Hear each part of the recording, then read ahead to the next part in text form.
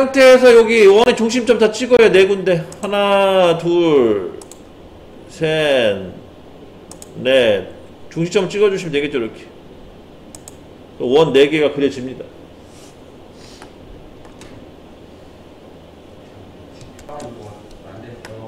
어. 자다 되셨으면은요 솔리드에 돌출 가세요. 자 알트에서 눌러가지고 색깔 지우시고 이렇게 솔리드에 돌출 솔리드 여기 있죠? 솔리드의 돌출. 그 다음에 이원 있죠? 원. 원을 다 찍어요. 하나 둘 셋 네 개 다 찍어주시고. 큰 것만 찍죠? 네.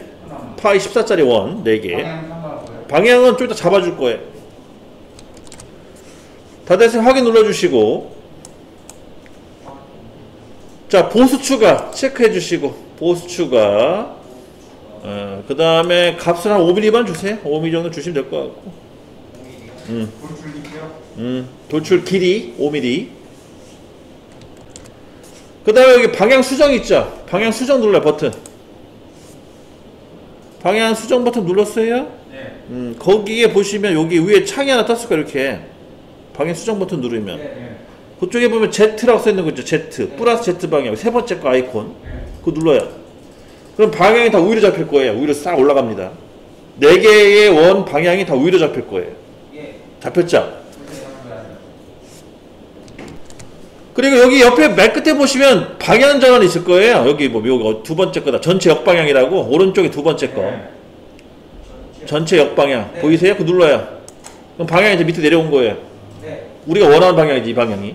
예. 어. 자, 다 됐으면 확인 버튼 눌러요. 오른쪽에 V 표시 있죠? 녹색 V 표시.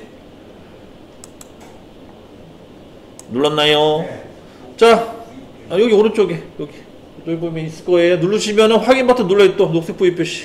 그러면은 어 에러가 떴네. 에러 뜨나요 혹시? 아니요. 어, 채워줬어요.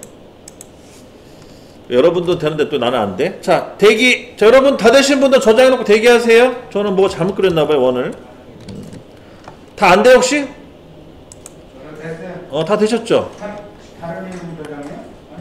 그래 저장하세요 저장. 음 저장하시면 돼요. 저는 지금 뭐가 겹쳤나봐요. 그 다시 좀 그려서 할게요.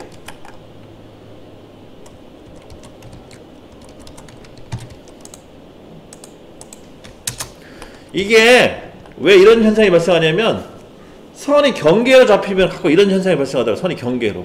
그래서 이럴 때는 어떻게 하냐면 원을 크게 그리는 게 나아요 차라리. 이 원은 냅두고 기존에 있는 원은 냅두고요. 요거는 어차피 할때 써먹어야 되기 때문에 냅두시고